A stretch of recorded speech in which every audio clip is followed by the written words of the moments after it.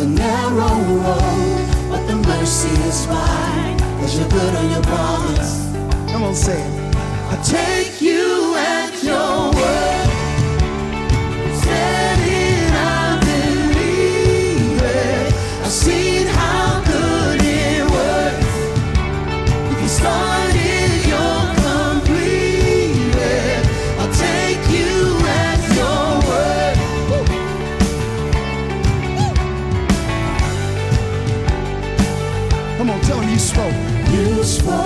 the chaos. And the chaos fell in line. He knows how to do that.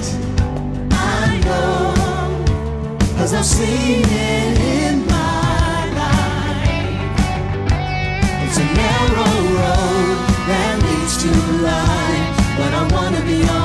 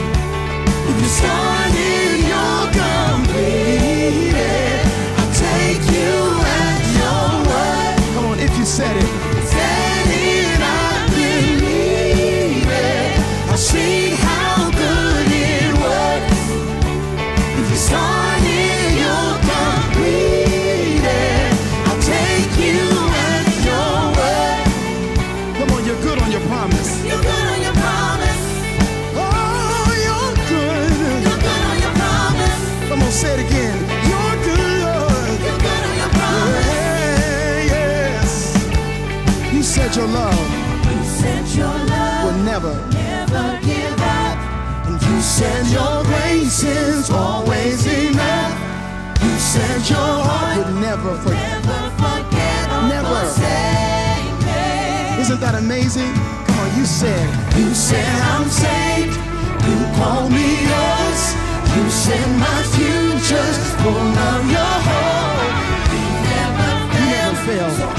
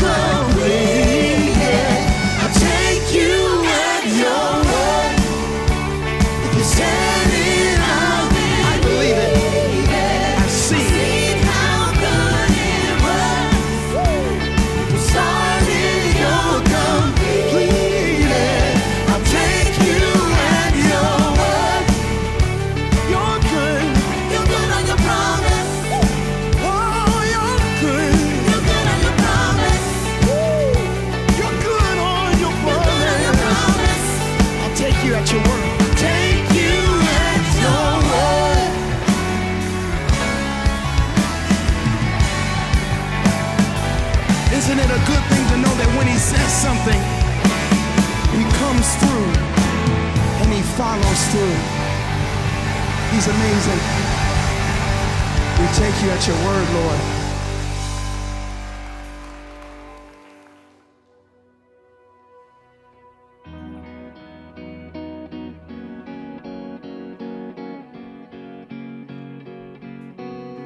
The Lord will provide. That's one thing he said. Anybody know that the Lord knows how to make a way where there seems to be no way? Right now, in this moment, we speak it and we declare it. I know you'll come through. This mountain is moving. I fix my eyes on you. If you said it, you'll do it.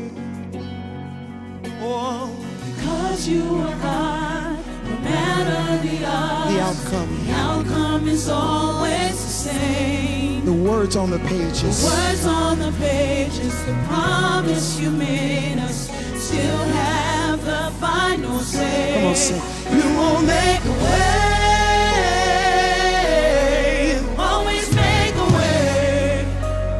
Come on, that's it. You won't make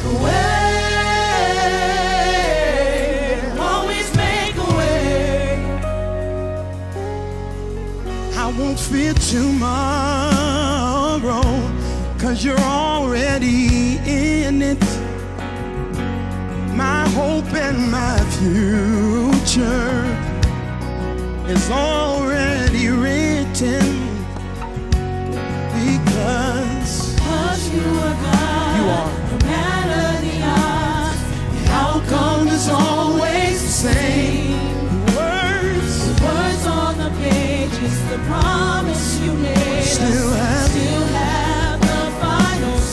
say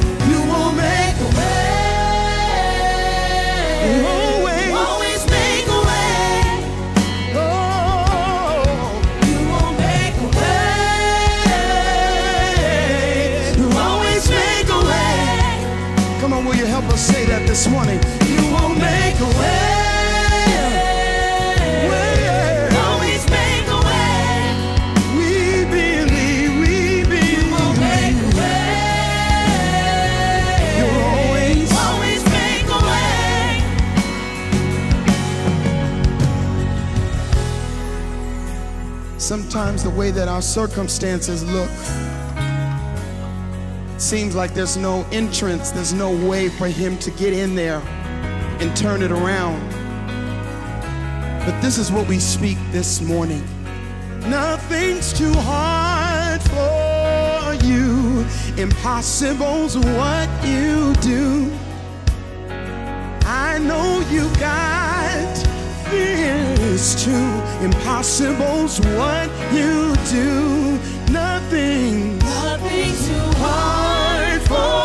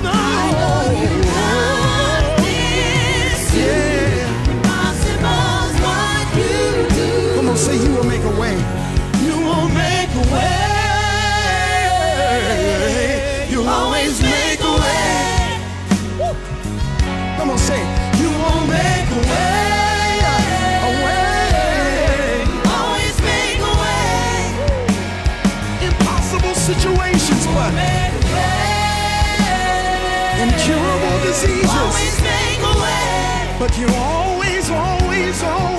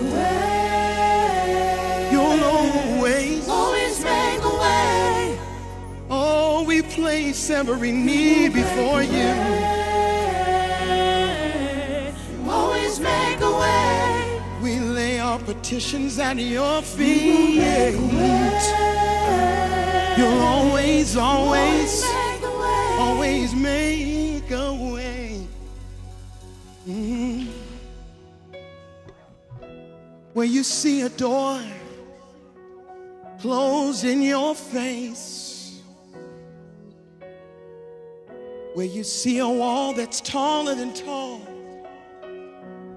just know that He will.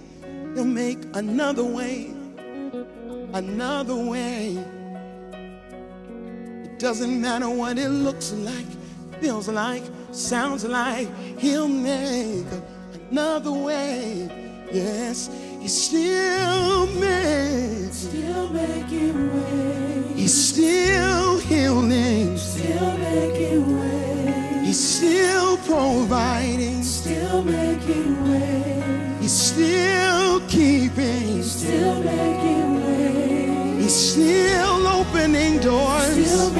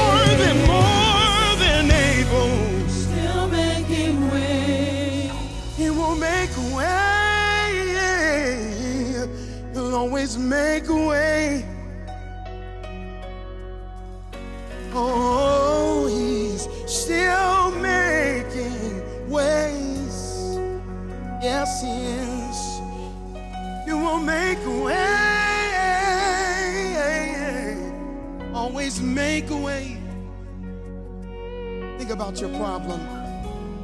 He will make a way. Always make a way. He will make a way. He'll always make a way. Thank you, Lord. He will make a way. He'll always make a way. Yes, He will. Will. If this is your first time at Bonita Valley, we invite you to sit back, relax, and enjoy the service. If you want some info on BVCC, simply complete our online Connect card. Here's how it works scan the QR code you'll find in the seat pocket in front of you with the camera on your smartphone. Open the link that will take you to Connect Card. You'll find a number of connecting options, including first time guests, prayer requests, I want some info on a Bonita Valley ministry. Check the appropriate connection box you're after. Push submit, and we'll get back to you ASAP. And if you are a first time guest today, please stop by Guest Central at the end of this service and pick up a special gift bag we have just for you. We'd like to take a few minutes to tell you about some things coming up for you and your family at Bonita Valley. Every week, hundreds of Bonita Valley volunteers give their time to serve in our lobbies, kids' classes, parking lot, production teams, youth ministry, and pretty much everywhere. Our volunteers are the heart of our church. So if you're currently on one of our teams, we want to say thank you with a special night that's all about you. The night will include a casual dinner, fun surprises, music, and an inspiring message of appreciation to equip us for the next season of life changing ministry at BVCC. All you've got to do is do what you do best show up. Mark your calendar, and we'll see you Monday, September 18th at 6 p.m. for Volunteer Appreciation Night. Thank you, volunteers. We love you.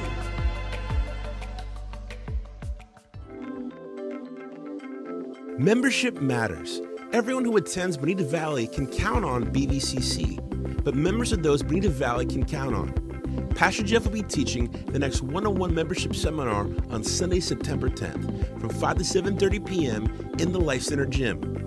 A casual meal and childcare will be provided. Sign up online at bonitavalley.com slash base class.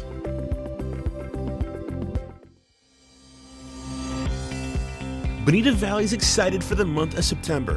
Why, you ask? Because so many great and joy filled growing and connecting opportunities are almost back for you, your family, and your friends.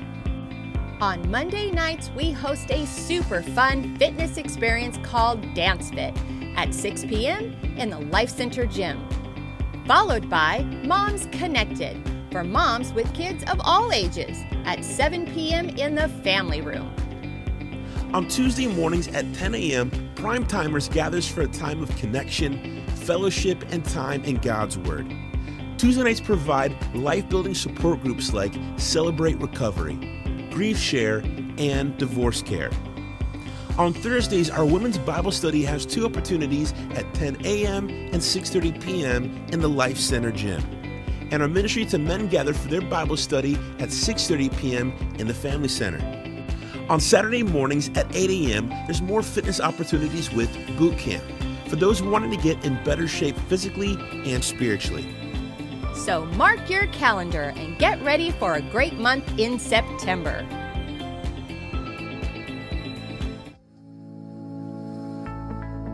We believe God has entrusted us to be managers of our time, talent, and treasures.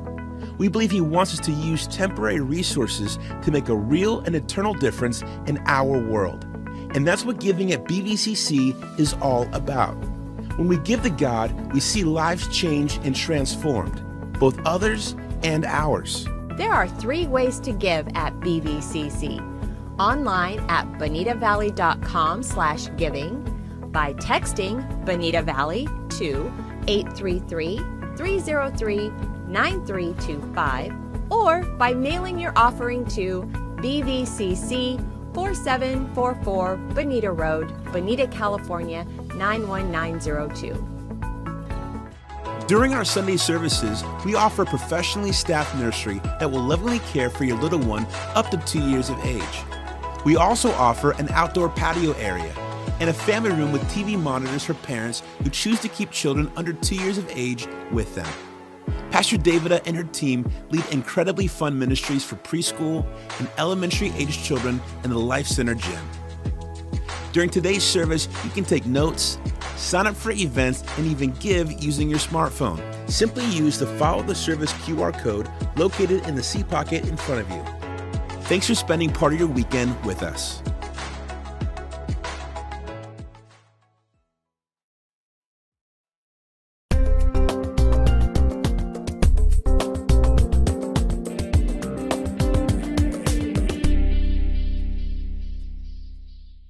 It was Herman Ostry's idea. His barn needed moving to higher ground anyway, and he thought this would be a grand way to celebrate Bruno, Nebraska's centennial. Some had no doubt that with a hearty heave-ho, the barn would go. We're going to be about ready to go. And uh, we're going to thank the Lord. It's a beautiful day that we are all hoping for. We hope that we can accomplish what we're set out to do here today. We hope to make some history. So everybody you grab a everyone ready. I see all the hands are down. To.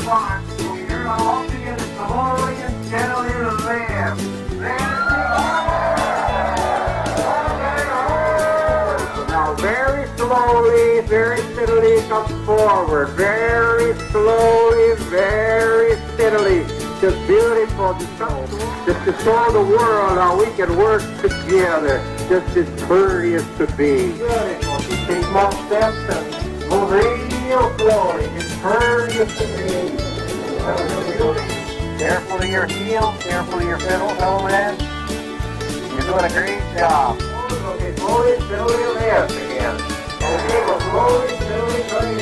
Try to turn the barn. That way, though. That way, keep coming. Just real slow, real steady. Keep coming. Keep on going.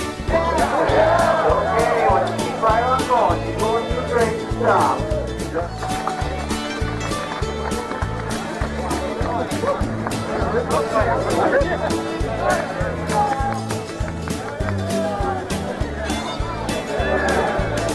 ever seen a barn move like this before? Yeah. That's hammer. Is it heavy? Oh, I got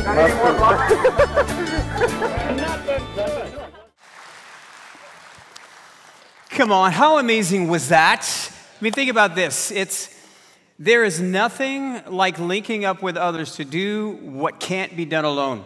Whether we're moving a barn or whether we are wanting to move forward in some area of our life, the fact is, is that we can find ourselves in a place where we're either all alone or we realize that we can go further, faster, make it through any season we find ourselves in together with others who are on the journey with us than we ever can alone. And that's what we're going to be talking about here this morning as we close out this fully engaged series that we've been in for the last couple of weeks. We've been talking about our theme each week has been talking about how we can shift our heart out of neutral. Life happens. We've talked about that each week, how life doesn't always unfold in a straight line. It's made up of twists and turns and chaos and curves. And, and we can find ourselves in a place where, we, where our hearts are disengaged and stuck in neutral.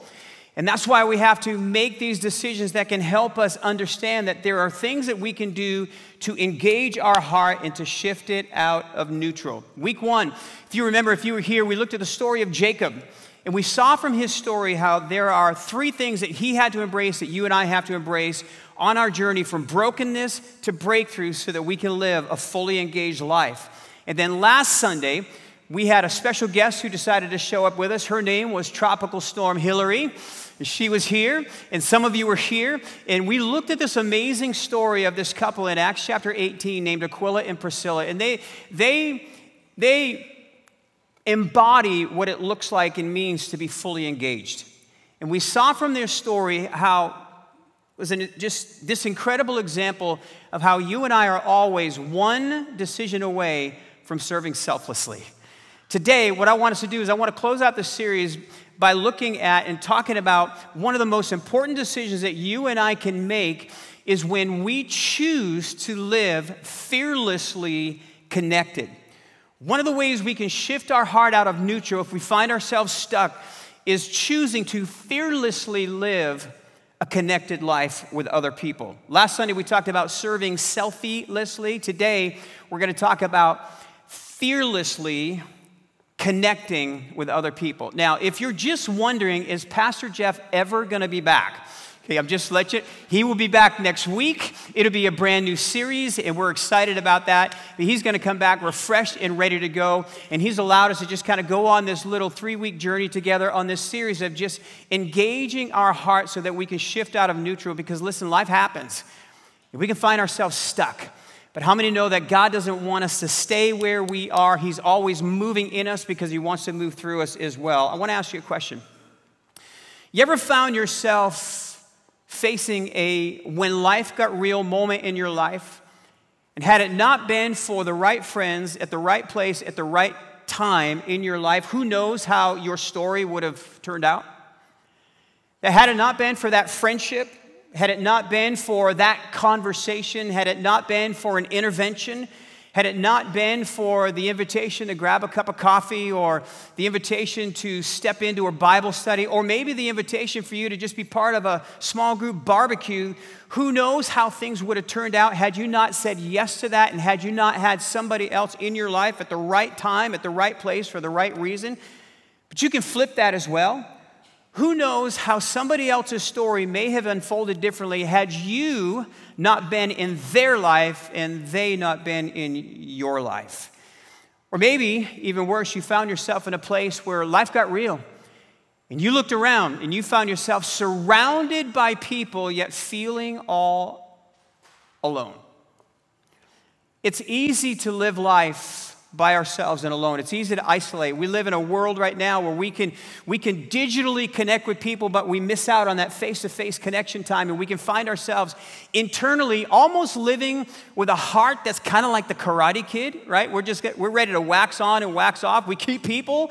We only let people get so close before we do our thing, and, and because they're, they're, you know, we've walked through some things and we've experienced some things in relationships, and we just kind of live our life just kind of guarded and walls up and just just living life that way. And we can find ourselves stuck in neutral relationally, living life to where we just keep people at a distance. And I think for too many people, too many people, oftentimes the one thing that's missing from their life more than anything else are the right friendships. And that's why the big idea that I want us to talk about here today, if there's one thought that I want you to walk out the door with you today, it's just simply this, and it's up on the screen. It's the big idea is this that we don't just need more friends in our life. This message today is not about, hey, we need to up the quota of friends in our life. We need to fill some new slots and spots with people. Come on, let, us be honest. We all live overloaded, marginless, sorry, ghostwriter. The pattern is full for our life, and there's, there's no room. And that's, that's not what this message is all about. What, what today is all about is just what I, my hope is is that we're going to see in three stories that we're going to look at is we're going to understand and see even clearer that we don't just need more friends in our life. Come on, how many would agree with me that we need the right friends in our life at the right place at the right time for the right reason? What I've discovered 37 years of ministry, 37 years of just walking with others through life, I've discovered not just in the lives of people, but I've seen it in my own life that one of the things that can hold people back and to disengage relationally is fear.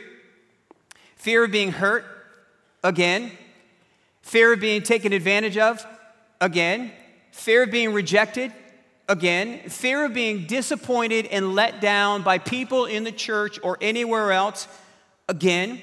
And I include myself in that as well because we can all find ourselves struggling with areas of fear relationally. But what happens when we close ourselves off to people because of fear? What happens is, is we close ourselves off to the value, the strength, the encouragement, and the wisdom that comes from having the right friends in our life. So here's my question for you today that I want us to look at. What if we chose instead, just a question, but what if we chose instead to live fearlessly connected with other people? Meaning, push past the fear meaning willing to take the risk that we need to, shift our heart out of neutral, to re engage our heart if it's been disengaged, and to link up with others so that in those moments when life gets real, you and I never have to look around at the landscape of our life and see ourselves all alone. See, the right friends that we're going to talk about today are not just people in our life, the right friends are fearless friends.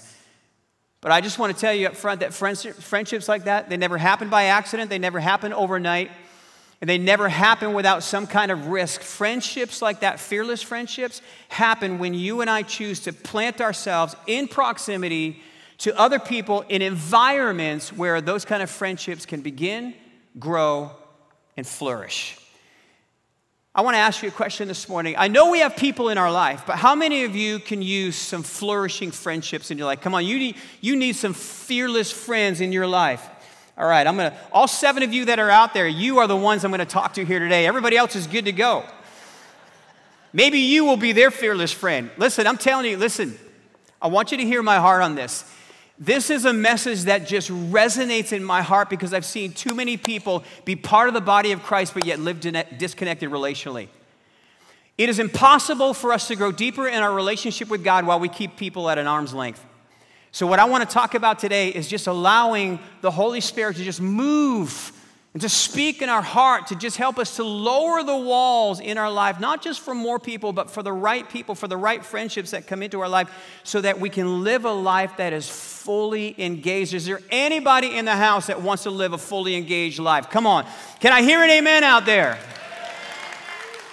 That just simply means I agree.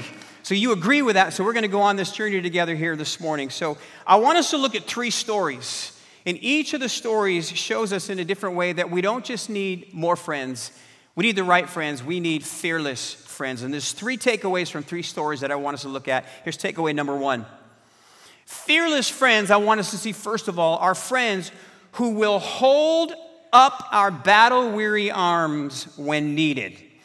Come on, sometimes our arms drop and we need some friends to come alongside of us and to hold up our arms. Moses did.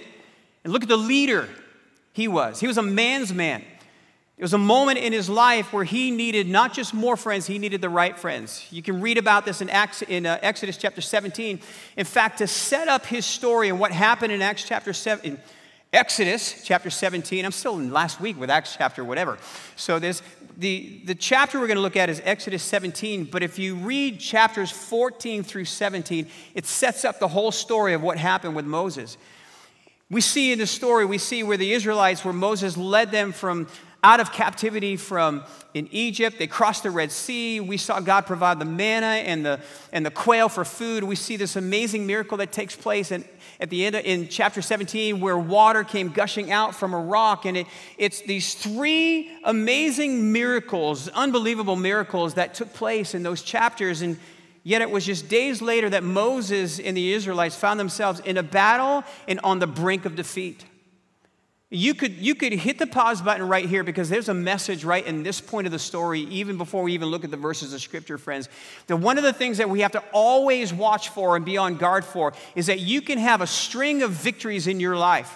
You can have success in your life. You can be on the mountaintop right now, but we have to always guard our hearts and be on the alert, not fear. We, we live alert because there's an enemy that wants to swoop in to steal what God is doing in our life. That's why we have to always be bad, ready for the battle that can happen after the breakthrough that takes place in our life. So here we look at that scene. This is what takes, what takes place here in this story where they go from the miracle at Meribah when the water came out of the rock to what really was a showdown on Rephidim. And we pick it up in verse 8 of Exodus, not Acts, chapter 17. And while the people of Israel were still at Rephidim, the warriors of Amalek attacked them. Moses commanded Joshua, Choose some men to go out and fight the army of Amalek for us. Tomorrow I will stand at the top of the hill holding the staff of God in my hand. And so Joshua did what Moses had commanded and fought the army of Amalek. Meanwhile, Moses, Aaron, and Hur climbed to the top of, the top of a nearby hill. As long as Moses held up the staff in his hand, the Israelites had the advantage. But whenever he dropped his hand, the Amalekites gained the advantage. Then Moses' arm soon became so tired that he could no longer, what? Say that with me. He could no longer hold them up. Come on, even the Moses in our life gets weary and tired. And so Aaron and Hur found a stone for him to sit on. And then they stood on each side of Moses, holding up his hands, and so his hands held steady until sunset. And as a result, Joshua overwhelmed the army of Amalek in battle. Picture this. There on the top of that hill, wavering between victory and defeat, there is this, this simple yet profound truth that no matter how successful you've been, no matter how capable you are, no matter how independent you are, there are moments that can happen in our life, even in the Moses moments of our life, where we find ourselves, where our arms begin to drop and we can find ourselves weary, and we need other people in our life because life was never meant to be lived alone. There are moments when we just need not more friends. Come on, we need the right friends in our life. We need fearless friends. We need some friends that are willing to climb the hill with us. We need some friends who are willing to hold up our weary arms when the battle gets too much. We, we need some friends who are, who are willing to stay with us until the battle is completely won. Come on, we need people who are willing to come alongside of us to hold up our weary arms. Do you know that our new creation groups, our support groups that we have here at the church, that that's exactly what they're designed to do? that they are designed to help hold up the arms of people who are on the journey right now and in a battle in their life for their not for some of them are but they're in a battle right now. And sometimes their arms just get weary and they just drop. And that's what these these new creation groups are for is to help come alongside them and to help them in moments when life gets real how many know that life doesn't get more real than when you lose someone that you love Life doesn't get more real than whether your marriage of three years or 30 years comes crashing down. Life doesn't get more real than when the doctor looks at you and says, I'm sorry, it's confirmed, it's cancer. I've heard those words personally, and they are not fun words to hear. That's the reason why we have these support groups that happen throughout, throughout the month, and especially on Tuesday nights. We have our, our grief share that meets at two different times, and the reason why those group, why, why grief share takes place is because they're holding up the weary arms of people who have gone through some kind of loss in their life. We have our divorce care for people who are picking up the pieces from a broken heart, from a broken marriage that takes place, and we're holding up their arms with that. And then we also have our Living Hope Cancer Support Group because we have several in our church family that are on a journey with cancer right now, and you may be new here and you just got a diagnosis and you didn't know that we had a ministry like that. And we have, we have these incredible ministries that are here as part of Bonita Valley. Friends, we can't just do life alone. There are moments in our life, just like Moses, where our arms begin to drop and we need some people to come alongside of us. And there are some, some strategically positioned people that God has placed around you in ministry opportunities for you to step into an environment where you can realize, I don't have to go go through life alone. That when I find myself in the middle of the battle, I know that God has some people around me that are going to hold up my arms. Come on, when you talk about fearless friends, fearless friends hold up our arms when the battle gets so much that you just begin to become weary and they drop. That's fearless friend takeaway number one. The second takeaway that I want us to look at is that fearless friends are with us heart and soul. Would you say that with me? Fearless friends are with us heart and soul.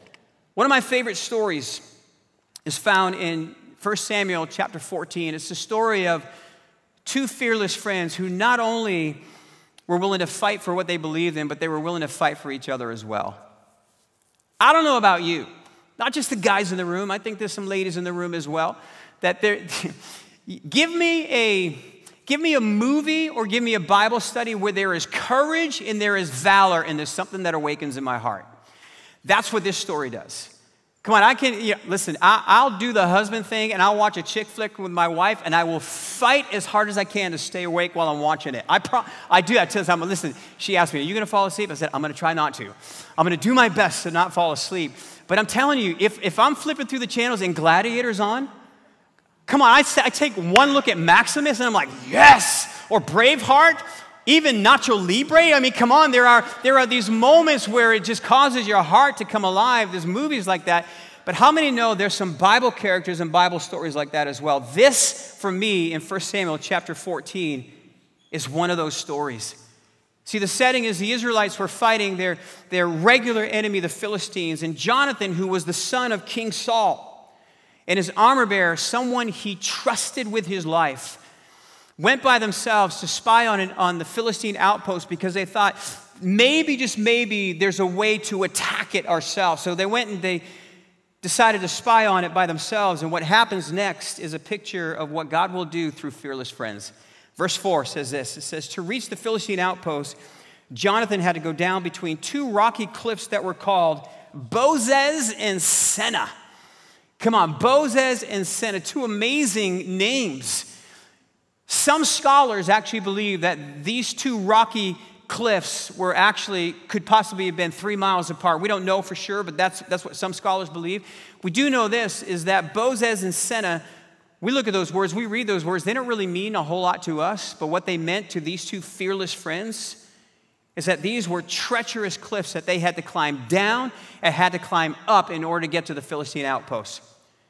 Some scholars say that the word bozez means slippery or shiny or sh- like shale. So I have some hunting friends. I don't hunt.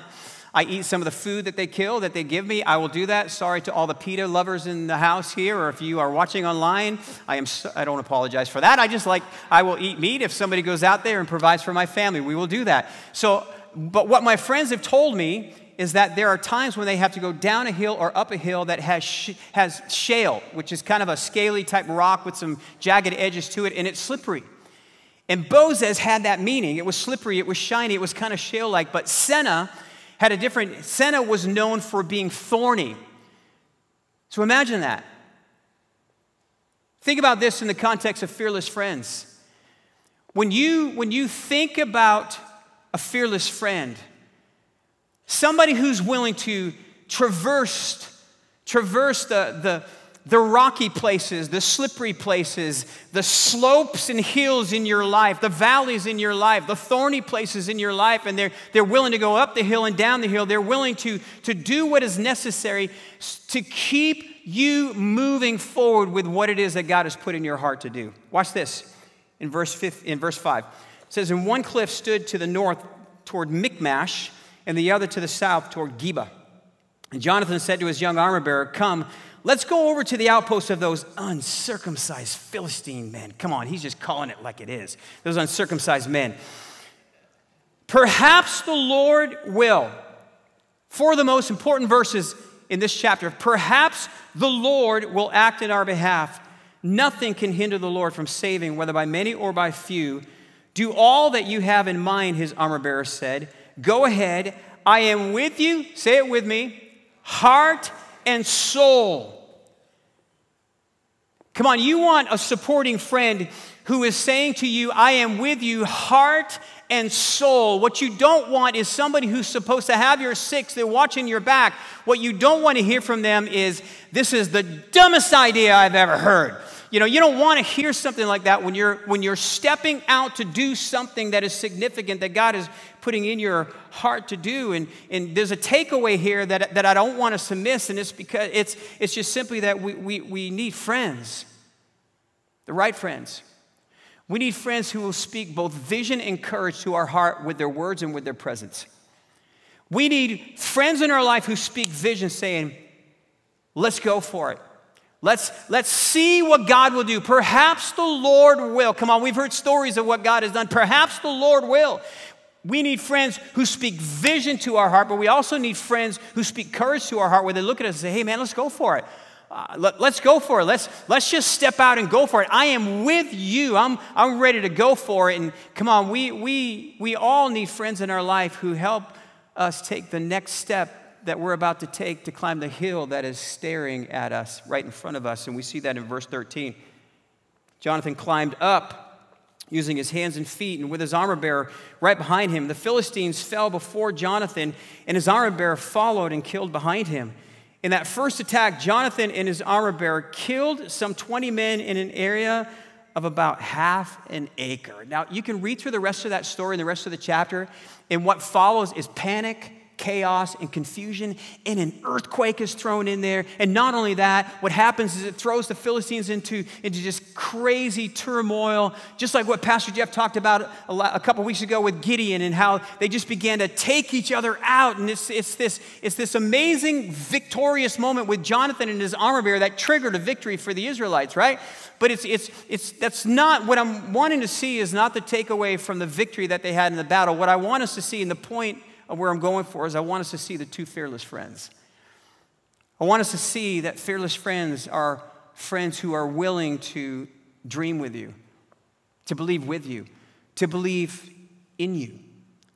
Fearless friends are someone who's not afraid to say, Hey, I see what's stirring in your heart and I am with you, heart and soul. I am ready to go to war with you for whatever God is putting in your heart. I will pray for you. If you want to go to war on behalf of your marriage, I'm there. If you want to go to war on behalf of your family, your sons, your kids, your, your daughters, whatever's happening in your life, the dream that you are chasing, I will go to battle with you because heart and soul friends do exactly that. They come alongside, they stand with, they bring vision, they bring courage, and you do it together because we all need heart and soul friends in our life, fearless friends, especially for those moments when life gets real.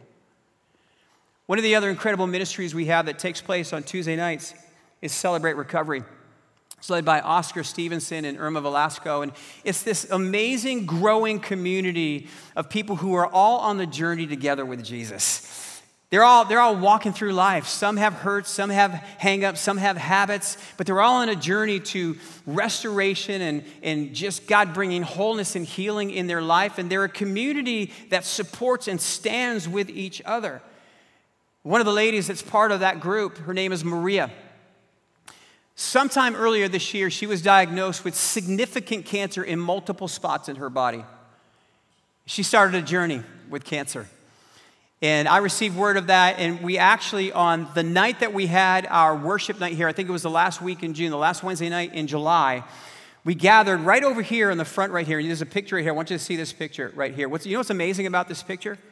Is, is Maria's in the middle there, and we gathered right over here on the floor, and you've got about 25 family members and friends, but many of them were from the Celebrate Recovery family and they are standing with her heart and soul. And I want to just tell you, you look at that moment and you look at her story, right? What I want you to understand is that there is an unfolding miracle that is happening in her life right now. We prayed for God to bring healing to her body, and what's happening is there are before and after PET scans. Before that shows multiple spots of cancer, and after that shows no cancer at all. She's in the hospital right now because there's one more issue that she has in her lung, and we are believing for God to heal that as well. Can I ask you a question? Question Is God still a healer?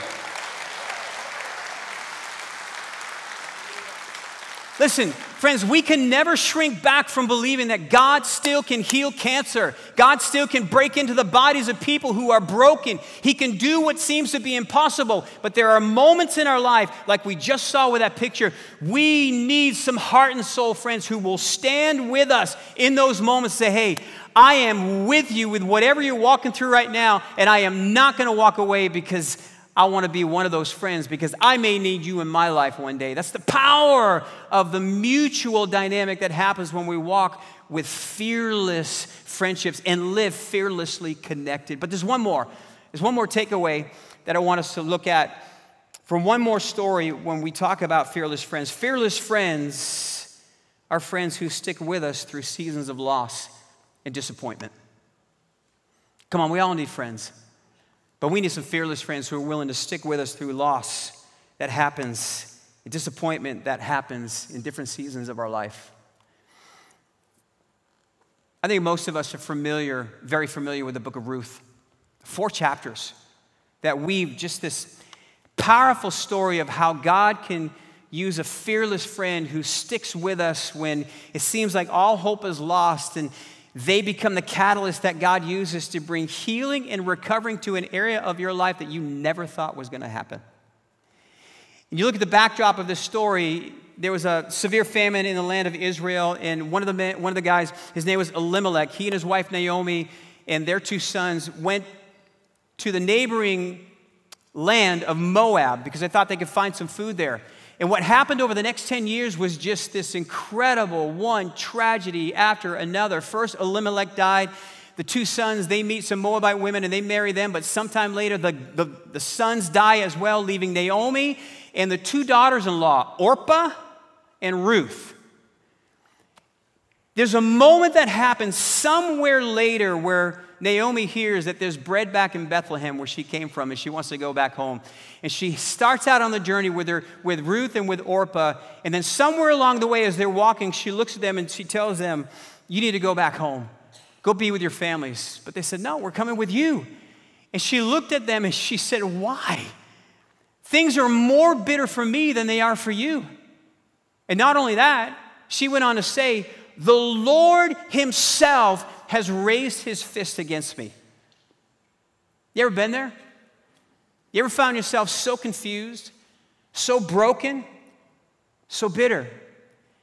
that it just seems like God has raised his fist against you, broken and bitter over some kind of loss in your life, over something you've lost or someone you've lost.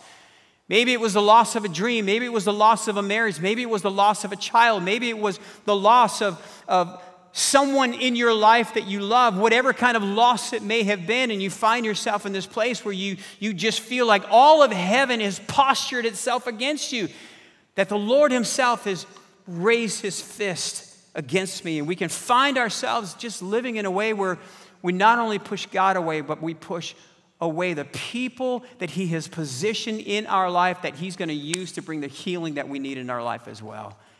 It's this amazing story that takes place. You look at Orpah, Orpah heard, she heard Naomi say, The Lord Himself has raised His fist against you. She said, Yeah, I'm gonna bounce. I'm out of here. I'm going. And she went back home. But Ruth, her response is just this amazing example of what a fearless friend looks like. Look at this in Ruth chapter 1, verse 16. It says, But Ruth replied, Don't ask me to leave you and turn back. Wherever you go, I will go. Wherever you live, I will live. Your people will be my people, and your God will be my God. Wherever you die, I will die, and there I will be buried. May the Lord punish me severely if I allow anything but death to separate us. Put another way, Naomi, you are grouchy.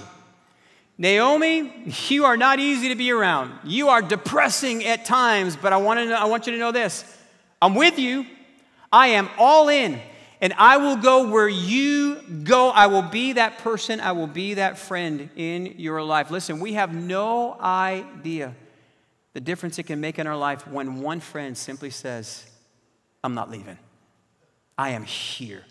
I'm going to go through this with you. And what unfolds in the next three chapters is this amazing love story between Ruth and she falls in love with a guy named Boaz and they get married. And, and what happens oftentimes is that their romance overshadows this incredible friendship between Ruth and Naomi. But they needed each other. See, Ruth would find love again. She falls in love with Boaz and she marries him. But it would have never happened had she not been connected because Boaz was a relative of Naomi. So then, somewhere later, Ruth gets pregnant. She gives birth to a child, and, and that son that she gave birth to filled the soul of Naomi that had been filled moments earlier with bitterness and with death, and now instead it's filled with life and love. Can I just tell you today that God is the great connector of the dots in your life? That you may be in a, in a spot, in a dot in your life right now that feels like it's just death and bitterness that is there. But there is a moment in your life, if you will let it happen, where He will bring life and He will bring love again. He can restore what it seems like the devil has stolen from you. That's the God we serve. And we follow him. And then, verse 16, it says Naomi took the baby and cuddled him to her breast, and she cared for him as if he were her own. And the neighbor woman said, now at last, Naomi has a son again. And they named him Obed. He became the father of Jesse and the grandfather of David. What a lineage. See, God can use the presence of a fearless friend who refuses to walk away to remind us of his presence and his promise that I've not forgotten you, I've not abandoned you, I've not, walking, I've not walked away, but also I want you to know that your future is still in my hands. And we can trust Him with that. Three stories that we look at real quick here today, each in their own way, are just reminding us and just showing us that we don't just need more friends in our life. We need the right friends. We need fearless friends. But I'm telling you that those kind of friendships happen when we choose to live fearlessly connected lives because life was never meant to be lived alone. Here's how Solomon put it in Ecclesiastes chapter 4 verse 12. He said a person standing alone can be attacked and defeated, but two can stand back to back and conquer. Three are even better, for a triple braided cord is not easily broken. You know what Solomon's showing us there? He's illustrating for us how the proximity and the presence of one friend's strength can make an incredible difference in someone else's life. It can literally become the turning point in someone else's story. So here's my question for you today. The question for you and the question for me that I have to ask myself is when I look at the landscape of my life and you look at the landscape of your life, can you point to not just people that are around you? Can you point to and identify the fearless friends that are in your life right now? Friends who will hold up your weary arms when the battle gets too much. Friends who are with you heart and soul. Friends who are, who are willing to stick with you no matter what season of life you find yourself in. Come on, those are, those are the friendships that we want in our life, right? The friends that we want, the friends that we need. But what happens is, is we find ourselves living in the middle of this tension between the friends that we want and need and how they happen. See, they never happen by accident. We have to create space in our life for friendships like that to be able to begin to flourish and to grow. One of the things that I've discovered in my life, and Joni and I have together, doing life together now for almost 36 years, is that we believe so much in the dynamic of small groups and doing life together. Table groups, that there's something power we need this to be able to celebrate together. But there's something that happens when we when we circle up when we gather up in smaller settings and in smaller circles and we lower the window and we let other people into our life. And what we've discovered is that they are an incubator. They're an incubator for the place and the way that fearless connections are born and forged.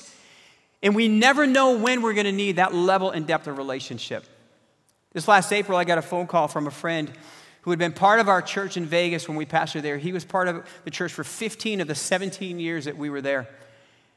And I, I saw his name come up on my, uh, my caller ID, and I went, whoa. And, and he said, This is my three o'clock in the morning phone call. See, we had a saying in our church who are you going to call at three o'clock in the morning if your house burns down? When your life falls apart. And he was sharing how his friends that are walking through what he's walking through in his life throughout since this took place in March and then with a phone call in April, that he has some friends in his life who are walking through not just the devastating loss of a spouse, but devastating inf- information that came his way as well, along with all of that. And he's got friends that are walking with him, and the friends that are walking through this with him were friendships that began 26 years earlier that happened and were built around pizza, chicken sandwiches, and a pickup truck. I've shared with our guys before in our men's ministry. The, on every other Tuesday night, I started this small group at a place called Villa Pizza, and, and we would gather. We'd eat pizza. One of the guys ate chicken sandwiches, which is probably what I would have to eat now in doing that. But not only that, we, we would pay the bill, walk outside, and we would gather around the bed of a pickup truck, and that, the bed of that pickup truck became a safe place. It became the spot. It became an opportunity for guys to open up, and there were times where guys would open up and they would weep. Sometimes they would confess sin and things that they were struggling with in their life. But what happened is it was an incubator. It, it, it was, it was where the fearless friendships 26 years later were born and were forged. You know what that's called? That's called fearless connections in community. See, community is where we lean into the value and the strength of other people. And the reason why we have to put ourselves in community, not just in a large sense, but in a smaller sense, is because there are moments in our life where we need other people to step in to fill the gaps of our faith. Listen, it doesn't matter how many years you follow Jesus, no matter how many Bible verses you memorize, no matter how many sermons you've listened to, no matter how many Bible hours Uh, Bible hours you have logged studying the Word of God, you and I will have moments in our life, no matter who you are, where our knees will buckle and our arms will drop, and we need a faith filled friend to come in to fill in the gap of our broken, where our faith is weak. We need some friends to come in. The Apostle Paul wrote about that in 1 Thessalonians chapter 3. And there are times where we need friends to fill the gap of our faith. But not only that, there are times where we have to be that friend as well. Listen, it's, it's the 59 gap filling one another's that we read about in the, New, in the New Testament. We got to love one another, serve one another, pray for one another, submit to one another, and just encourage one another. All of those things are there, but they never happen by accident. They don't. We have to choose. See, we don't need more friends in our life, we need the right friends. But in order for that to happen, there's two things that have to take place. And then I'm going to bring this plane in for a landing here this morning. The first thing that has to happen is we have to take ownership for our responsibility in connecting with others. Listen, I can't connect with others for you, and you can't connect with others for me. I have to own that part. I have to initiate. I have to lower the window. I have to open my life up to other people to have those kind of relationships. As a church, we can't create connections for you. We can create opportunities, we can create ministries, and we can create environments, but you have to own stepping into those environments for those relationships to begin. But not only that, the second thing we have to do is we have to choose to plant ourselves in a place and in a space where we can grow fearlessly connected and deeper with God and with others.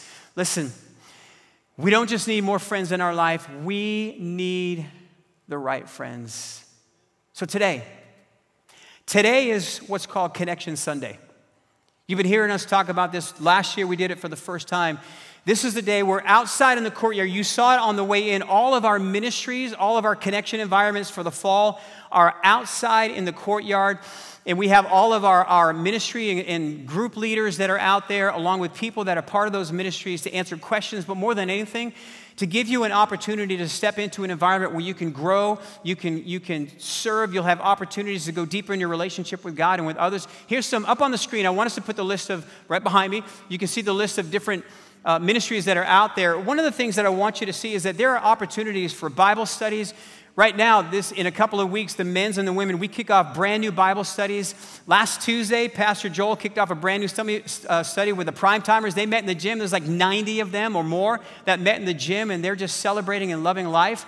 There's opportunities for you to plug into prayer groups. There's, there's the support groups that we talked about that you can find out more information that are out in the courtyard. If you're here today and you need a marriage tune up, if you're struggling in your marriage, listen, Marriage Connect is going to start back up on September 22nd. Graceland and Patrick Miller are doing an incredible job in contending for marriages that are just struggling. And there are opportunities for you to step in and to plug in and to be a part of that. If you want to serve on a, on a ministry team, listen, one of the best ways to get connected is to serve on a ministry team. How much, how many of you that were here last Sunday appreciated the parking team that was out there standing in the rain so that you can come into church safely and exit safely as well and still love Jesus on the way out off the campus? Yeah, they stood there in the rain. They did it because they have a heart to serve. There are many different ways that we can serve the Lord. Listen, I want you to imagine something. Imagine just for a moment a church filled with fearless love, with fearless encouragement fearless connections of every generation with our kids, with our students, and with our adults.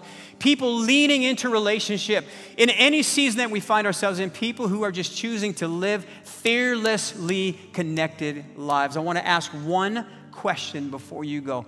Last week, I ended the message by asking the question Where is God giving you an aha moment in your life with serving selflessly? And I want to ask that question here again today. Where is God giving you an aha moment in your life to re engage relationally with other people, to fiercely connect? Where is God awakening in your life saying, hey, you've been doing life alone long enough, it's time? Where is he putting his finger saying, hey, let's, let's have an honest conversation for why you've pulled back, for why you've disengaged? Let's talk about that hurt. Let's talk about why you pull back from other people. And let's have an honest conversation with that. But more than that, let's take the next step and let's step into one of those ministry environments so that you can experience a fully engaged life that I have created for you. We don't just need more friends in our life, friends. We need, we need the right friends. Friends who will hold up our arms, friends who are heart and soul friends, and friends who are with us no matter what season of life we find ourselves in. To live that kind of life, to live fiercely connected like that, is one of the most important decisions that you and I can make. And in doing so, it will shift our heart out of neutral and it will also help us to live the fully engaged life that God has for us. Amen. I want to invite you to stand with me at this time. Don't head for the doors just yet because we're going to close here in a moment. Our pastors and prayer partners are going to come on down to the front. We're going to have an opportunity in just a moment, and you'll be able to check out all the different booths that are out there, and we're excited about that. But I want to pray over you before we go and just ask for God's blessing and His peace and His favor to be upon you as you walk out those doors and live your fully engaged life. So, Jesus, today, God, in this moment right now, Father, I ask that you would just walk with us and be with us. I pray for every person that is here. Your heart is that we live fiercely connected without fear in our relationship with you and without fear in our relationship with others. And I just pray, God, for, for every person that is here, God, who's contemplating, should I or shouldn't I? I pray that everybody that is here, God, help us to take the next step. Help us to sign up. Help us to step into. Help us to engage so that we can live the fully engaged life that you have for us. And if you're here today and you've never given your heart to Jesus, I want to invite you to pray this prayer with me. Dear Jesus, in this moment right now, the most important relationship I need is you. And I ask that you would forgive me of my sins, come into my heart, help me to live a fully engaged life from this day forward. And it's in your name, Jesus, we pray. Amen.